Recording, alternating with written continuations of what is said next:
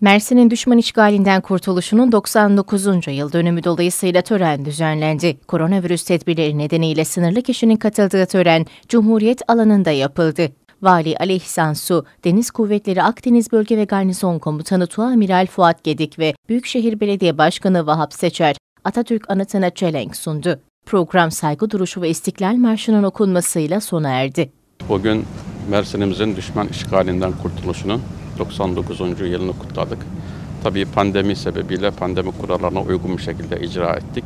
Tarih boyunca milletimiz her zaman bağımsızlığına sahip çıkmış, bağımsızlığına, istikbaline, istiklaline uzanan ellere her zaman kırmıştır. Bundan sonra da kalacaktır. Bu çerçevede Mersinlilerde kurtuluş mücadelemizde olduğu gibi Mersinliler de bu anlamda Mersin'e sahip çıkıp Mersin düşman işgalinden kurtarmışlardır. Ben bu vesileyle başta Gazi Mustafa Kemal Atatürk olmak üzere ebediyete intikal eden tüm şehitlerimizi rahmetle, kahraman gazilerimizle, minnetle, şükranla anıyorum.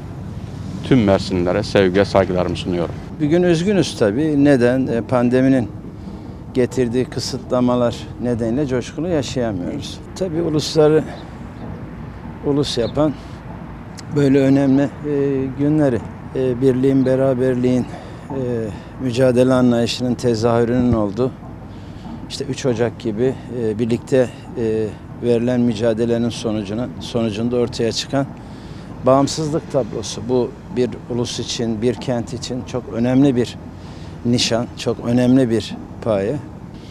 Ben kentin belediye başkanı olarak önce hemşerilerime birbirlerini sevmelerini, birbirlerine saymalarını, e, birbirlerine hürmet etmelerini, birbirlerine yardımcı olmalarını, hele hele böyle önemli bir sürecin yaşandığı dönemde pandemi gibi insanların mağduriyetinin had safhaya çıktığı bir dönemde yardımlaşma çok önemli. İlla ki maddi bir yardımlaşma değil. İnsanlar maneviyatı da, e, huzuru da, psikolojisi de e, önemli tahribatlar yaşadı ve büyük sıkıntılar yaşıyorlar. Ben de kentin belediye başkanı olarak bu illetten kurtulana kadar da halkımızın yanında olacağız. Her açıdan yanında olacağız. Ben bir kez daha bugünü bize yaşatanlara, bu güzel ülkeyi, bu güzel memleketi bizlere bırakan atalarımızın karşısında saygıyla eğiliyorum. Başta Ulu Önder Mustafa Kemal Atatürk olmak üzere.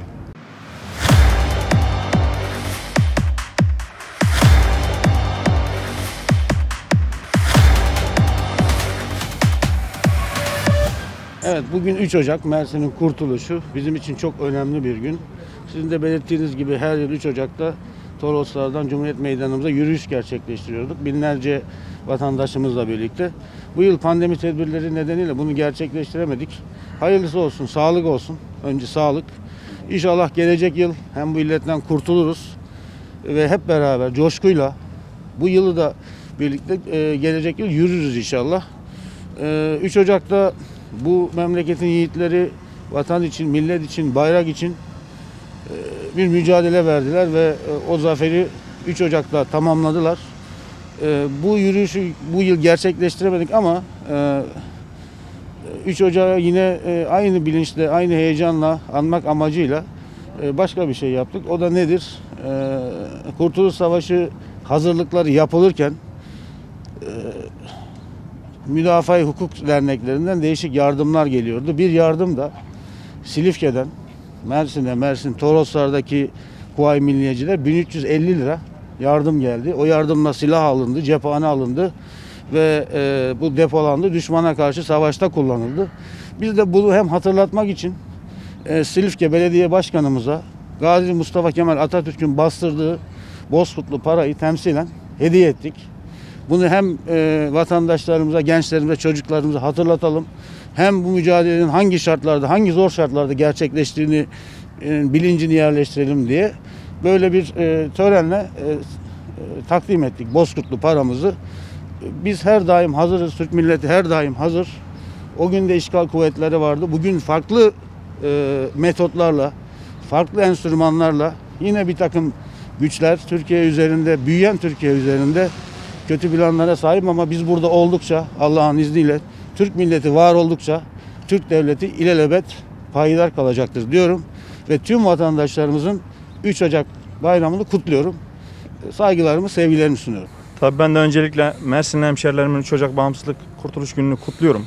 19 Mayıs 1919'da Gazi Mustafa Kemal Atatürk'ün Samsun'da yakmış olduğu bağımsızlık ateşi bütün yurdu sarmış ve önce 27 Aralık'ta Tarsus, 3 Ocak'ta Mersin düşman işgalinden kurtulmuştur.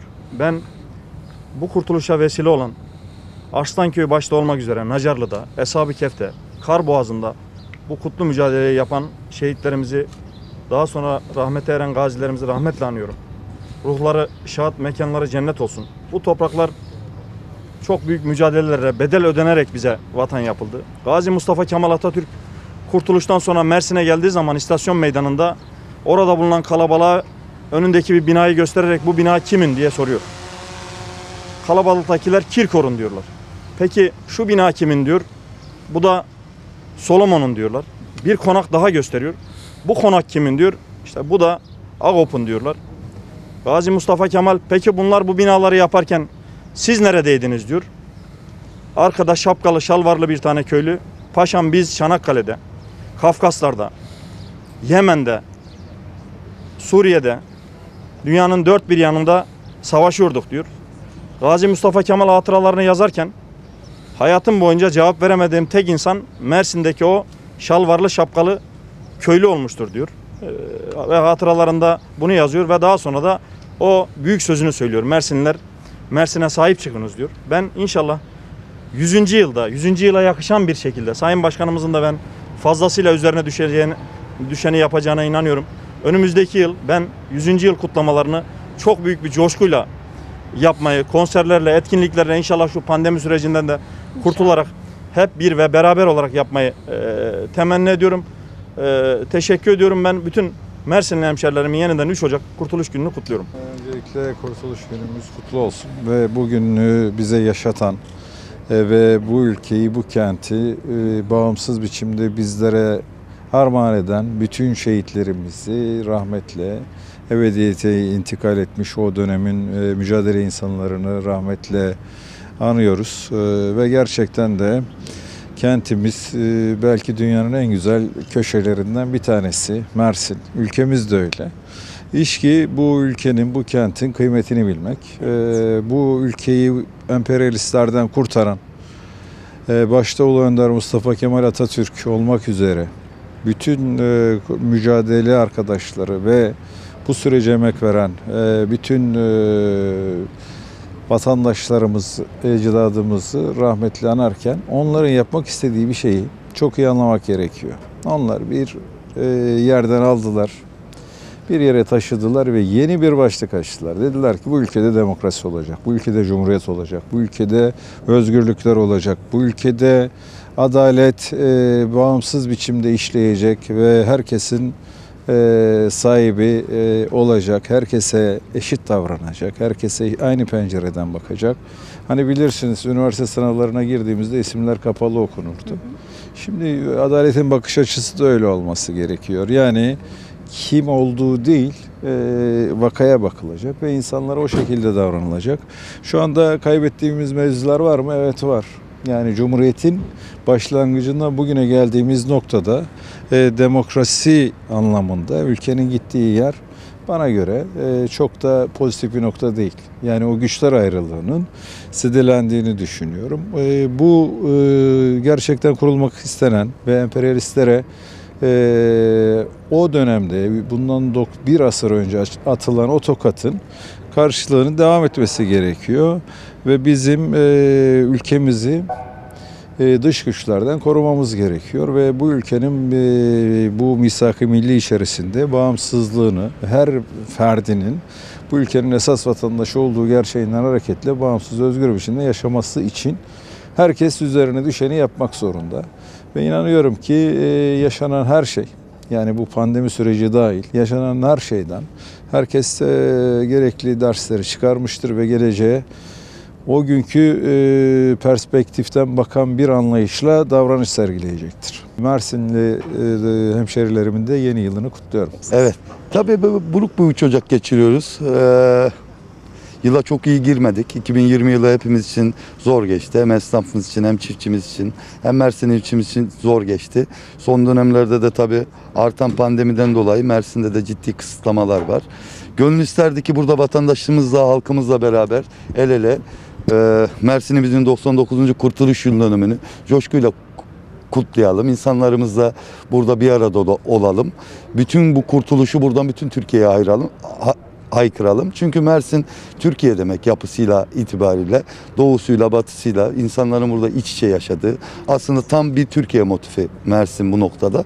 Onun için buruk bir e, 3 Ocak geçiriyoruz ama ben buradan bütün Mersinli hemşerilerime seslenmek istiyorum. Tedbirlere, kurallara uyarak inşallah bu pandemi belasını da hep birlikte el birliğiyle aşacağız ve gelecek 3 Ocakları hep birlikte burada meydanlardan bağıra bağıra coşkuyla kutlayacağım, kutlayacağız diyorum. Sizlere de bu zor günde burada görev yapıyorsunuz. Hepinize ayrı ayrı teşekkür ediyorum. Tekrardan bütün Mersin'imizin 3 Ocak Kurtuluş Bayramı'nı kutluyorum. Ee, iki gün önce biliyorsunuz yılbaşını Evet. e, geçirdik. Orada da hep söyledik. E, kötü bir yıl geçirdik. E, aslında bu pandeminin tabii direkt doğrudan etkileri ve dolaylı etkileri nedeniyle herkesin, Türk toplumunun ve e, dünyada herkesin beklentisi 2021'den daha güzel olması. Tabii hemen iki gün sonrasına gelen bu Mersin'in de kurtuluşu bu pandemi koşulları nedeniyle maalesef halk olmadan kutlanmış oldu. E, biliyorsunuz halkın olmadığı bir yerdeki yapılan her türlü çalışma ve etkinlik gerçek amacına ulaşmaz. Ben öyle düşünüyorum. Her şeyimizi mutlaka kent yönetimini de öyle, merkezi yönetimi de bu kurtuluş günlerimizi de e, vatandaşlarımızla, çocuğumuzla, yaşlısıyla beraber bu meydanlarda çok coşkulu aslında kutlamamız gerekir. Çok önemli. Türkiye Cumhuriyeti'nin kuruluşu zor oldu biliyorsunuz. Ee, Çok insan kaybı oldu. Ee, Her taraf kan, denizlerimiz, karalarımız, emperyal güçler ülkeyi işgal etmiş. Bu zor koşullarda bir Atatürk çıkıyor. Ulusal kurtuluş mücadelesini başlatıyor. Mersin'de de olduğu gibi Kuvayi Milliyeciler çıkıyor ve Mersin'de aynı şekilde işgal altındayken e, bunlardan kurtuluyor. Bu önemli. Onun için bunu çocuklarımıza e, anlatmak gerektiği gibi e, sıcak da tutmak gerekiyor. E, zor kazanıldı çünkü bu ülke. E, Cumhuriyet zor kuruldu. Onun için kurtuluş günleri her kentimizde e, önemlidir. E, ben tekrar şunu vurgulamak istiyorum, üstünde duruyorum. E, Yılbaşları da öyle tabii ki. Yılbaşı da kutlanamadı biliyorsunuz. Evlerde dahil kutlanamadı. Oysa bir yılbaşı gibi buna benzer dini bayramlarımız da öyle tabii ki kuşkusuz. Ee, halkla beraber daha geniş katılımlı şekilde birlikte kutlanırsa anlam kazanıyor. Ee, aynı şekilde bu tür günlerin de e, mutlaka şu meydanlarda ben isterim ki on binler olsun, yüz binler olsun parti ayrımı yapmaksızın, hiçbir partiye bakmaksızın çünkü bizim ortak paydada buluşacağımız en önemli konulardan birisi bu. Bazı konularımız vardır. Mesela demokrasi konusunda, cumhuriyet konusunda olduğu gibi e, dini bayramlar, bizim ulusal kurtuluş günleri hepimizin, her siyasi düşüncenin bir araya gelmesi gereken yanımızda kim olduğunu bilmeyiz. Arkamızda, önümüzde kim olduğunu bilmeyiz. Öyle olması gerekir. Onun yeri ayrıdır. Seçim zamanı gelir. Herkes siyasi tercihini kullanır. Ama şu günler herkesin ayrımsız söylüyorum. Tüm siyasi düşüncedeki insanların bir araya gelip coşkuyla gece gündüz kutlaması gerekiyordu. Ama maalesef işte bu dönem böyle oldu. Pandeminin de etkisiyle. Ama şimdiden gelecek yıl için inşallah bu dönem biter. E, Yine dini bayramlarımızı, e, ulusal bayramlarımızı, kurtuluş günlerimizi halkla beraber altını çizerek söylüyorum. Coşkuyla kutlarız diyorum. Ben tekrar bu cumhuriyetin e, kutlu olmasını, kurtuluş günlerimize vesile olan e, şehitlerimizi burada rahmetle anıyorum. Gazilerimizi anıyorum. Onlara çok şey borçluyuz. Ve bunu burada tekrarlamakta da yarar görüyorum. Yine hayırlı olsun hem yeni yılımız diyorum hem de kurtuluş günümüz. Mersin'in tanınmış isimlerinden uzman doktor Soyer Şimşek, Mersin'de COVID-19 nedeniyle hayatını kaybetti. Soyer Şimşek 1950 yılında Mersin Arslanköy'de doğdu. 1973 yılında Ankara Üniversitesi Tıp Fakültesini dönem ikinciliğiyle tamamladı. 1978 yılında Ankara Üniversitesi Tıp Fakültesinden iç hastalıkları uzmanlığını aldı. 2009 yılında Türk Kardiyoloji Derneği Kongresi Kardi Panel'de ikincilik ödülü aldı. 2009 yılında Sabancı Üniversitesi'nde düzenlenen Akademika seminerinde Avrupa birinciliğince ve Amerikan Hekimleri Birliği'nce akredite edilmiş takdire şayan hekim kategorisinde değerlendirildi. İçer TV ve Sun TV'de sağlık başta olmak üzere çeşitli konularda programlar yapan uzman doktor Soyer Şimşek, evli ve iki çocuk babasıydı. Akdeniz Belediye Meclisi'nin Ocak ayı birinci birleşimi yapıldı. Toplantıda bir önceki meclis tutanak özeti okunup oylandı. Koronavirüsle mücadele eden personele ödenecek ücrete ilişkin önergenin kabulünden sonra meclis toplantılarının her ayın ilk mesai günü saat 10.30'da yapılması karara bağlandı. Toplantıda Meclis Denetim Komisyonu'nun 3 kişiden oluşmasına ilişkin üyelerin teklifi de oy birliğiyle kabul edildi ve her gruptan birer üye seçimle belirlendi. Seçim sonucu komisyonu üyeliklerine Sebahattin Yeşiloğlu, Mahmut Dönmez ve Salih Akbaş seçildi. Akdeniz Belediyesi'nde yapılan atama ve görevlendirmelerle ilgili meclisin bilgilendirmesinin ardından temenni ve öneriler bölümüne geçildi. Bir sonraki meclis toplantısı 8 Ocak 2021 Cuma günü saat 10'da konferans salonunda yapılacak. Akdeniz Belediye Başkanı Muhammed Mustafa Gültak, toplantının son bölümünde yaptığı konuşmada koronavirüs rahatsızlığı sürecinde yaşadıklarını meclis üyeleriyle paylaştı. Evet yeni bir yıla girdik. Ee, inşallah 2021 yılı sosyal mesafelerin, hayat tarzımızın, maskelerin vesairenin azaldığı sağlıklı bir yıl olur. Ee, bu furyaya biz de katıldık. Tabii çok meclis üyesi arkadaşımız beni aradı biliyorum. Hepinize teşekkür ediyorum. Yani Allah kimsenin başına vermesin. Yani bu hastalık muamma. Geçirmeden aşıyla kurtulmak en iyisi ben size söyleyeyim. Bütün arkadaşlarımıza, bütün meclisçilerimize, bürokratlarımıza, bütün sizin sayenizde basın aracıyla e, Mersin'e, arayanlara, e, sosyal medya aracıyla bize geçmiş olsun dileğini ileten tüm Mersin'de kardeşlerimize de ayrıca teşekkür ediyorum. E, bugüne kadar ölen tüm vatandaşlarımıza Allah'tan rahmet. E, şu an hala hasta olup hastanede olanlara Allah'tan acil şifalar diliyoruz. Ee, ama kurallar değişmedi arkadaşlar. Benim hastalığı geçirmiş olmam, Aysel Hanım'ın geçirmiş olması, e, Serhat Güvenç'in geçirmiş olması bir anlam ifade etmiyor. Maske, kurallar aynı. Devam edecek. Aşı olsak da aynı. Çok önemli. Çok canımız yandı. Çok kayıplar verdik. Ben ekonomi tabii önemlidir ama insan e, bir insanın değeri kaynaklar kadardır. Yani ekonomi bir kadar. Dolayısıyla dikkat edelim. E, arayan tüm arkadaşlarımıza da ayrıca teşekkür ederim. İnşallah 2021 yılı daha huzurlu, daha sağlıklı geçer diye düşünüyorum. 8 Ocak Cuma günü e, saat 10'da meclisimizi yeniden e, toplamak üzere e, hepinize kolay gelsin. Allah kahretsin telefon videoyu almamış ya. Ne olmuş ne olmuş? Tam bir şey yok. Bir şey yok. Bir şey yok. Yastık üstüne bas. Bas oğlum bas oğlum. Video çek video. Video çekin de ilk başta almamış video almamış. Mersin'in Tarsus ilçesinde bir baba çocuklarının kaldığı evi molotof kokteyli atıp yaktıktan sonra üzerine benzin döküp kendini ateşe verdi. Bolatlı mahallesinde çocuklarıyla anlaşmazlık yaşayan baba CHP, çocukları SP, HP ve EP'nin yaşadığı eve geldi. Önce çocuklarına küfür edip hakaret eden baba, sonra elindeki molotof kokteylini odaya fırlattı. Yorganların tutuştuğu yangına ev sakinleri müdahale ederek söndürmeye çalıştı. Bununla yetinmeyen baba cephe bu sırada evin damına çıkıp güneş enerji sistemine zarar verdi. Baba daha sonra da bidondaki benzini üzerine dökerek ateşe verdi. Polis ekipleri babayı evin damında etkisiz hale getirdi. Kendini yakma girişimi sırasında yüz kısmında yanıklar oluşan baba ambulansla hastaneye kaldırıldı.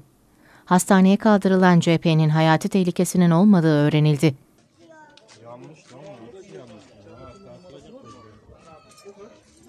Mersin'in Tarsus ilçesinde uyarılara rağmen kapısı açılmayan binaya kepçeyle duvarı yıkarak giren jandarma ekipleri 89 kişi yasa dışı olarak kumar oynarken suçüstü yakaladı.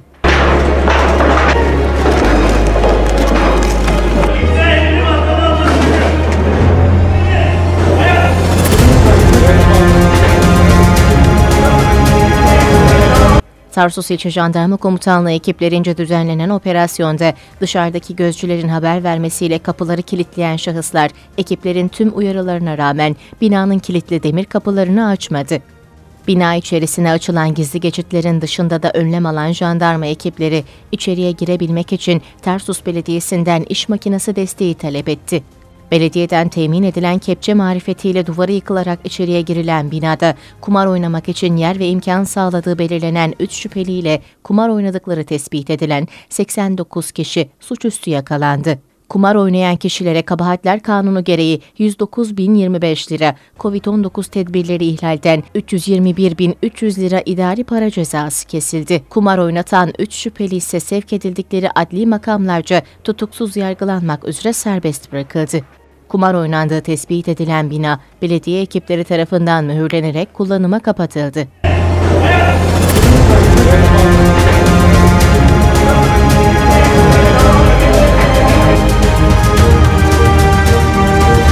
Mersin'de pandemi tedbirleri kapsamında yasak olmasına rağmen inşaat halindeki bir binayı ışıklandırarak yılbaşı eğlencesi düzenledikleri belirlenen 18 kişi jandarma ekiplerince yakalandı. Anamur ilçesinde yılbaşı dolayısıyla denetimlerini yoğunlaştıran ekipler, Çarıklar Mahallesi'nde inşaat halindeki bir binada yılbaşı eğlencesi düzenlediğini tespit etti. Binaya baskın düzenleyen ekipler, yılbaşı eğlencesine katılan 18 kişiyi gözaltına aldı. Işıklandırma yapılarak süslenen binada yapılan incelemede yılbaşı eğlencesine katılmak için gelen şahısları ağırlamak için 9 masa ve bir adet bar oluşturuldu. Masalara içki ve meyve servisi yapıldı. Ayrıca canlı müzik yayınının yer aldığı belirlendi. Usulsüz olarak eğlence mekanına dönüştürüldüğü tespit edilen binada 107 adet bandrolsüz içki ele geçirilirken, eğlenceye katıldıkları belirlenen 18 kişiye sokağa çıkma yasağı ve sosyal mesafe kuralını ihlal ettikleri gerekçesiyle toplam 56.700 lira idari para cezası uygulandı. Mersin'in Tarsus ilçesinde sulama kanalına düşen köpek itfaiye ekipleri tarafından kurtarıldı. Özüce Mahallesi yakınlarından geçen ve zemini nebati otlarla kaplı olan sulama kanalının içerisine bilinmeyen bir nedenle köpek düştü. Çamura saplanan köpeği akşam saatlerinde fark eden çevredeki vatandaşlar durumu itfaiye arama kurtarma ekiplerine bildirdi. Olay yerine intikal eden Büyükşehir Belediyesi İtfaiye Daire Başkanlığı, Tarsus Grup Amirliği Yenice Birim ekipleri köpeği kanal içerisinden çıkardı. Vücudunda sıyrıklar oluşan köpek, Tarsus Belediyesi Köpek Barınağı ekiplerine teslim edildi. Evimin gününe de daha bir buçuk ay var. Dayıcım sen şimdi dışarıda mı kalıyorsun? Evet, dışarıda Evin barkın yok. Yok. Tamam buradan belediyemize seslenelim, valiliğimize seslenelim, sana sahip çıksınlar. Teşekkür ettim. Ben de kendim şahsen gidip başvuru yapacağım senin için. Sağ ol. Allah Seni nasıl bulacağız biz? Ben aha buradayım. Ben Burada parkta kalıyor. He, burada kalıyorum. Tamam hangi park burası? Şey, yoğurtçu. Yoğurtçu pazarı mı oluyor? Evet, yoğurtçu parkı. Yoğurtçu parkı. Evet. Tamam dayıcım isim neydi senin? Mahmut Solmaz. Tamam ayaklarında da ciddi sıkıntı var. Şimdi açma ben gördüm. Gördün zaten. Tamam, Yalan- ben gördüm. Yalanla işim yok yani. Tamam dayıcım. Yalan İnşallah söyleyen- inşallah sana yardımcı olmaya çalışacağız. İnşallah. Allah razı olsun derim.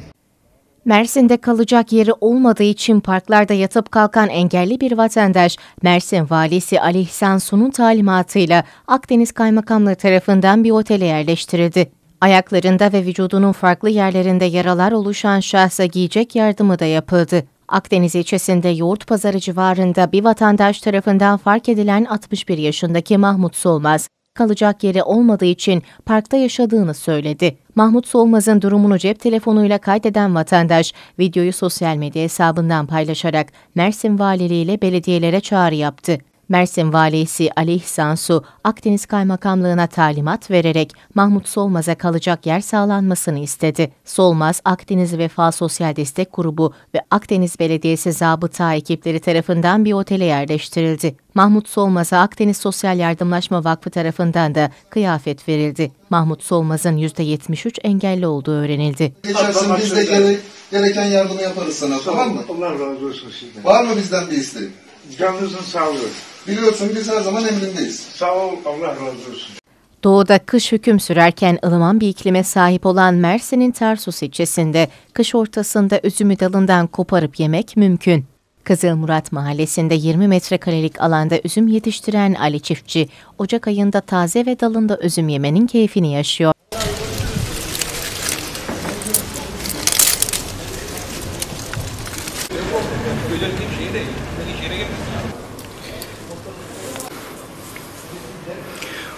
Oo, Ocak ayında Tarsus'ta mis gibi üzüm. Tadına bakalım. Maskemizi çıkaralım. Maşallah aynı Haziran Temmuz ayındaki gibi. Tarsus'ta e, 20 metrekarelik tarlalarımızda üzüm oluyor. Bu üzüm Tarsus'a özgü bir üzüm. E, yedi veren ismini veriyoruz buna. Yedi veren olduğu için de sürekli veriyor ve Ocak ayında da yine üzüm veriyor. Bu sene de ocağın işte ilk haftası, ilk günleri gördüğünüz gibi üzümümüz olgunlaştı ve az önce tadına baktık. Tadı da aynı yaz aylarındaki gibi çok güzel. Bu Tarsus'umuza özgü havası ılıman olduğundan dolayı sanıyorum bu şekilde her sene veriyor. Üçüncü lig, üçüncü grupta şampiyonluk mücadelesi veren İçeri Dimanyurdu ilk yarının son maçı olan Altındağ maçına hazır.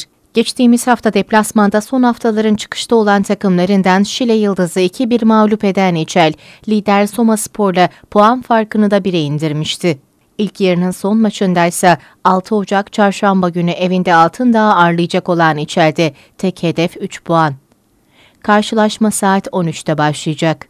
Ligde enişte çıkışlı bir sezon geçiren İçel İdman Yurdu ilk yarının son maçında hata yapmak istemiyor. Bu maçın ardından kadrodaki eksiklikler doğrultusunda takviyeler yapacak olan İçel'de tek hedef sezon sonu mutlu sona ulaşmak. İkincilik kırmızı grupta düşme potasıyla playoff potası arasında mekik dokuyan Tarsus bir kez daha mağlup oldu ve tarafların tepkisini çekti. Son 3 maçında sadece bir puan alan Tarsus bu maçlarda gol dahi atamadı. Geçtiğimiz hafta evinde lider Eyüp maçında varlık gösteremeyen Tarsus, ikinci yarında yediği golle sahadan 1-0 mağlup ayrılmıştı. Sonrasında çıktığı erteleme maçında da deplasmanda düşme potasında olan Bayburt karşısında yaşadığı mağlubiyetle taraftarlarında sabrını taşırmış durumda.